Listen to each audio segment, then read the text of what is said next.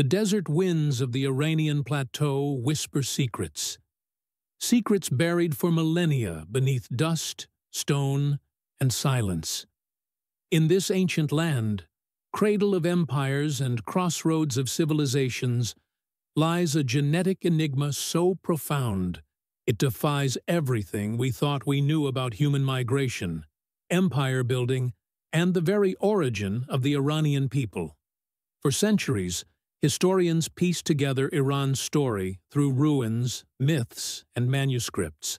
But beneath it all, beneath Persepolis, beneath the Zagros Mountains, beneath the soil once soaked by the blood of kings, was a code, not a cipher of language, but of life. DNA frozen in time, sleeping inside the bones of forgotten ancestors. And now, for the first time, scientists have cracked it.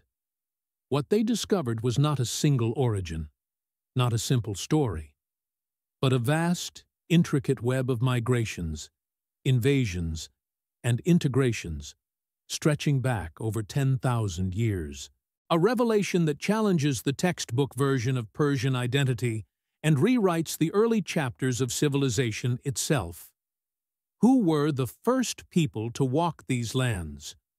What bloodlines flow through modern Iran's 88 million hearts? And how did ancient DNA finally unlock this incredible truth? The answers lie deeper than anyone imagined. And what you're about to hear changes everything. Stretching from the shores of the Caspian Sea to the heat-blistered dunes of the Lut Desert, Iran's landscape has witnessed the rise and fall of empires for over 10,000 years. From the Elamites to the Achaemenids, from Alexander's conquest to the Islamic Golden Age, this land has always been at the center of history's great turning points. And yet, beneath the towering achievements of Persian civilization, a mystery has quietly endured. Who truly were the first people to settle this land? Ancient texts speak of Aryan migrations. Some scholars trace origins to the Indo-European steppes. Others suggest far older, local roots, inhabitants whose bloodlines predate the invention of writing itself. Until recently, theories clashed, competing for dominance in the absence of hard biological proof. But the scale of the question extends far beyond Iran's borders. This is not just about a nation. This is about the genetic crossroads of Eurasia. Iran has always been a corridor, a gateway between East and West, a place where nomads, traders, warriors, and prophets passed through, settled, mixed, and vanished into history. To understand the true origins of the Iranian people is to uncover a key chapter in the human story itself. But until ancient DNA could speak, all we had were fragments and shadows. That silence is now broken. It began with a tomb, silent, forgotten, and half swallowed by the earth in the Zagros Mountains. In 2015, archaeologists excavating a remote burial site near the village of Tepe Abdul Hossein stumbled upon something remarkable. Skeletal remains dating back nearly 10,000 years. Perfectly preserved in the cool mountain soil, the bones belong to one of the region's earliest known settlers, a woman. Young, healthy, and carrying within her the ancient code of a people long lost to time. Forensic analysis confirmed her Neolithic origin but what made this discovery groundbreaking wasn't just her age. It was what her DNA held, undisturbed for millennia. This was a time capsule, unaltered by modern migrations or dynastic upheavals. For the first time, scientists had a pure genetic fingerprint of prehistoric Iran. Around the same time, other sites across the Iranian plateau, like Ganj Dareh, Saygabi, and the legendary necropolis of Shahr-e-Sukhteh yielded more remains. Each bone, each tooth, each strand of mitochondrial DNA brought a new piece of the puzzle. Together, they whispered of forgotten migrations, unknown bloodlines, and an origin story that stretched far beyond the boundaries of modern maps. The question now wasn't if these samples could tell the truth, but how much truth they were hiding. Led by geneticists from the University of Copenhagen, in collaboration with Iranian archaeologists and international institutions, the investigation began to unfold like an epic scientific thriller. Extracting viable DNA from ancient remains is notoriously difficult. The hot, dry climate of the Middle East often destroys genetic material. But against the odds, samples from sites like Ganj Dareh and Wezmeh Cave yielded enough preserved DNA to begin sequencing.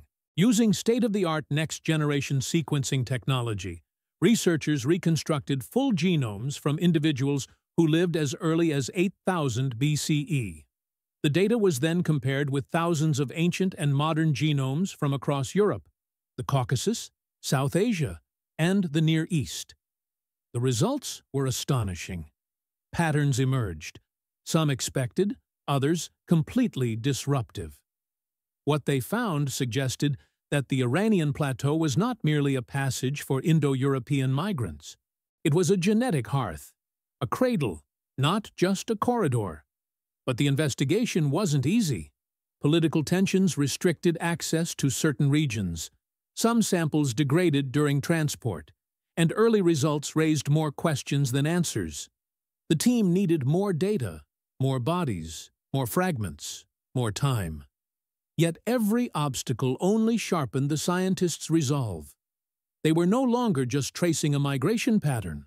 They were unearthing a lost identity, one buried beneath empires, legends, and centuries of assumption. What came next would shake the foundations of everything we thought we knew. When the genomes were finally decoded, the truth emerged with shocking clarity. The ancient individuals from Ganj Dareh, living over 10,000 years ago, were genetically distinct from the early Anatolian farmers to the west and the Proto-Indo-European steppe herders to the north.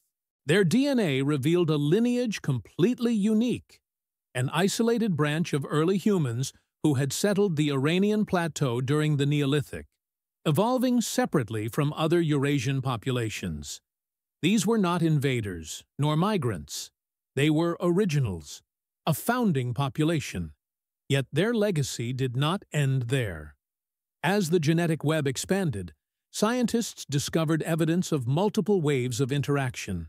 Around 6000 BCE, new genetic elements appeared, traces from the Caucasus, the Levant, and even Central Asia.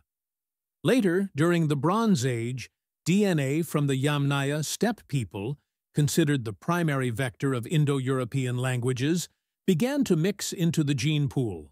But here's the revelation. Despite these layers, the genetic core remained intact. Over 60% of the modern Iranian genome still traces back to that early Neolithic population from the Zagros.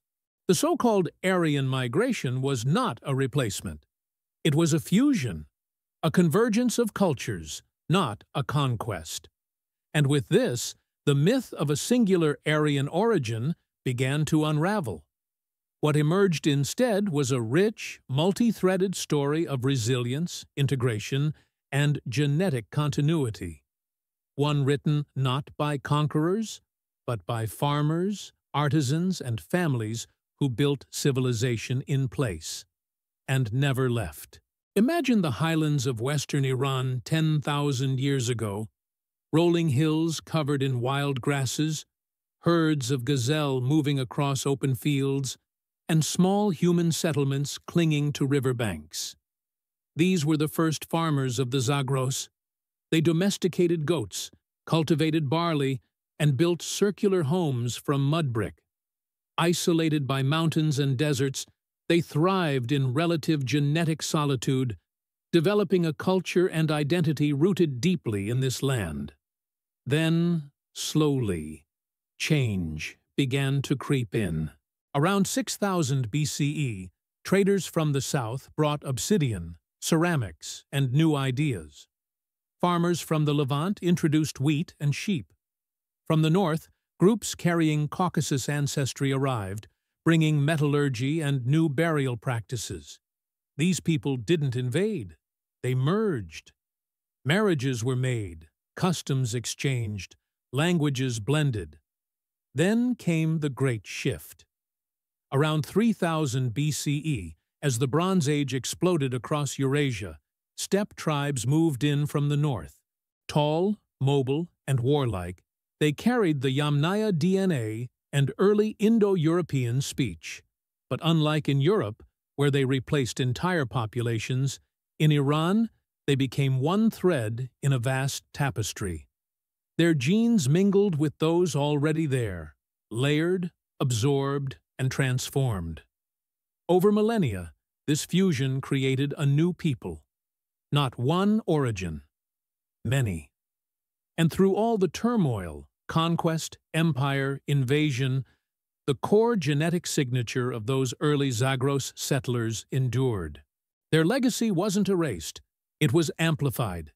They didn't vanish into history, they became its foundation.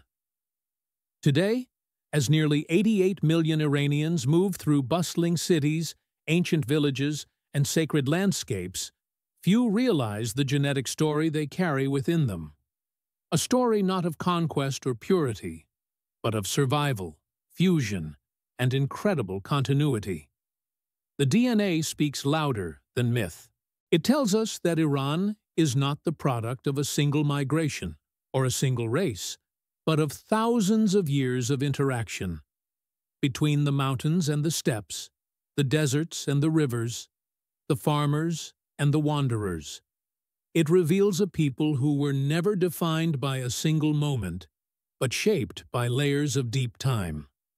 In a world often divided by narratives of separation, this discovery reminds us that identity is built through connection, through memory, ancestry, and the silent language of our genes. The ancient DNA has finally spoken, and what it says rewrites history, not just for Iran, but for all of us. Because in the strands of that double helix, we see the truth. Our pasts are not straight lines, but vast and tangled roots, twisting through time and soil, binding us more closely than we ever imagined.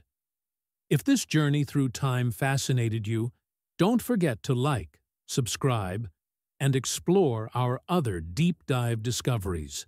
There's a whole world of hidden stories waiting just beneath the surface.